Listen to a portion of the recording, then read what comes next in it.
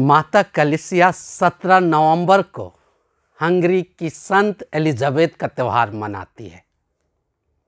ये हंगरी के राजा अंध्रियस द्वितीय और उसकी पत्नी गेत्रुद की पुत्री थी। नन्ही संत एलिजाबेथ को बचपन में ही उनके धार्मिक माता पिता से गहरा ईश्वरीय विश्वास, माँ मरियम के प्रति भक्ति तथा सभी ख्रिस्तीय सद्गुण मिले थे। किसी संत महात्मा के भैंसवानी के आधार पर छोटपन में ही उनकी मंगनी जर्मनी के थुरिंजिया के राजकुमार लुडविक के साथ कर दी गई थी। अतः कम उम्र में ही संत एलिजाबेथ थुरिंजिया के वार्टबुग राजमहल में लाई गई।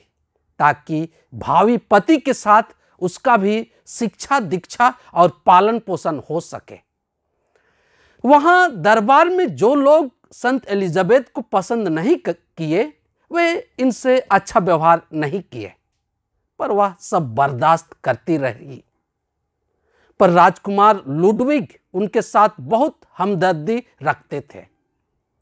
जब राजकुमार 21 साल के हुए और एलिजाबेथ 14 साल की थी तो उनका विवाह हुआ। कुछ लोग, वह सुयोग्य वधु नहीं है, इस तरह आरोप लगाकर इस विवाह का विरोध किए। पर राजकुमार लुडविग उसे दिल से स्वीकार किए और वे पति पत्नी के रूप में बड़े प्रेम से रहते थे। संत एलिजाबेथ अपने इस विवाह से बहुत खुश थी। ईश्वर की कृपा से इनके तीन पुत्र हुए।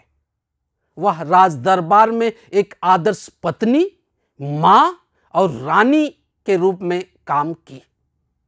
उनके हृदय में गरीबों एवं बीमारों के प्रति विशेष जगह थी, इसलिए हमेशा उनकी सेवा और मदद के लिए तत्पर रहती थी।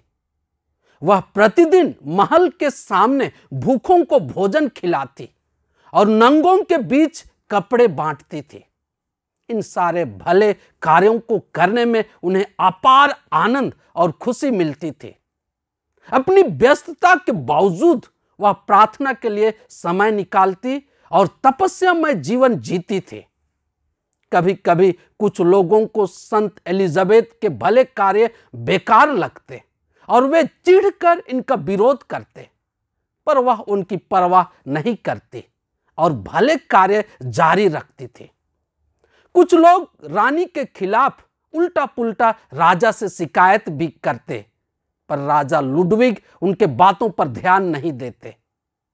रानी के भले कार्यों से राजा को भी अच्छा लगता था और एक अद्भुत, अच्छी अनुभूति होती थी।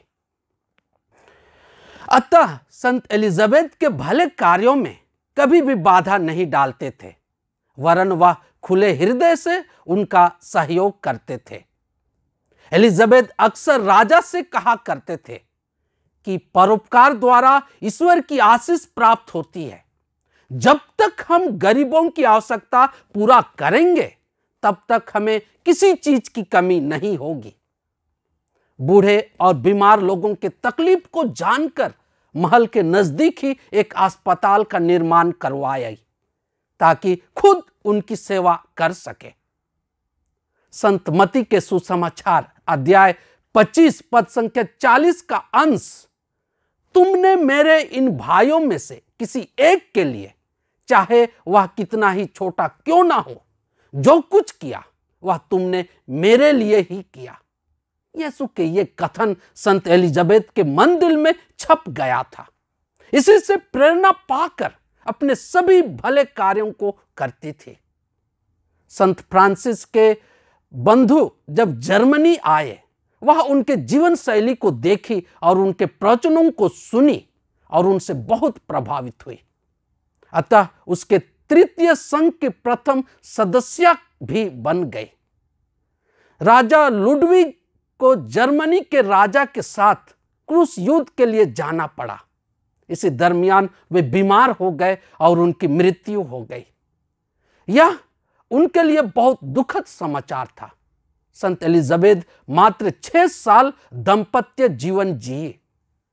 बाद में उनका देवर, जो राजा लुडविक का उत्तराधिकारी बना, संत एलिजाबेथ और उनके बच्चों के साथ निष्ठुर व्यवहार करने लगा। उनको राजमहल से बाहर कर दिया। इस तरह उसे दर दर भटकना पड़ा।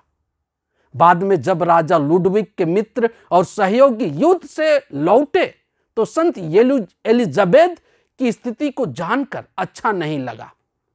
वे उनके देवर पर दबाव बनाए और संत एलिजाबेथ के हिस्से की जायदाद उनको मिली। कुछ लोग उन्हें दूसरी विवाह करने की सलाह दी, पर वे साफ़ इनकार कर दिए, क्योंकि उनकी कुछ और सोच थी।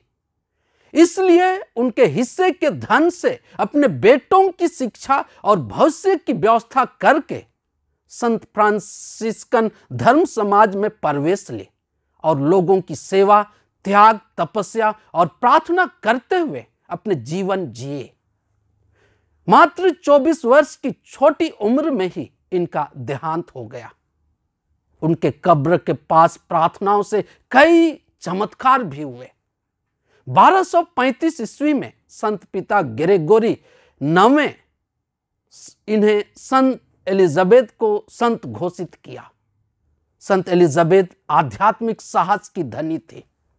सभी धनी लोगों के लिए नमूना छोड़ गई कि किस तरह लोगों के कल्याण के लिए धन का सदुपयोग किया जा सकता है।